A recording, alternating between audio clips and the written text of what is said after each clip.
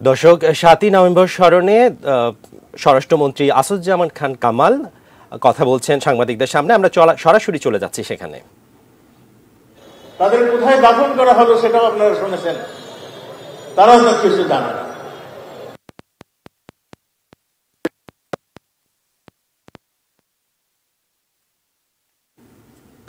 দর্শক সংযোগটি বিচ্ছিন্ন হয়ে গেছে। দর্শক আমরা আবারও সংযোগটি ফিরে পাওয়ার চেষ্টা করছি।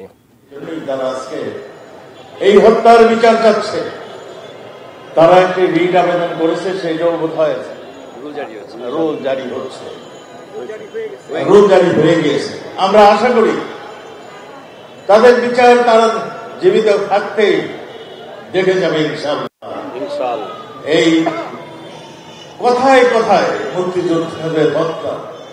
কথায়, কোথায় মুক্তিযোদ্ধাদেরকে আজকে একটা অবস্থান, একটা বিরূপ অবস্থানে নিয়ে যাওয়া? এই ষড়যন্ত্র, এই রক্তের হোলি খেলা যারা করেছেন, তাদেরকে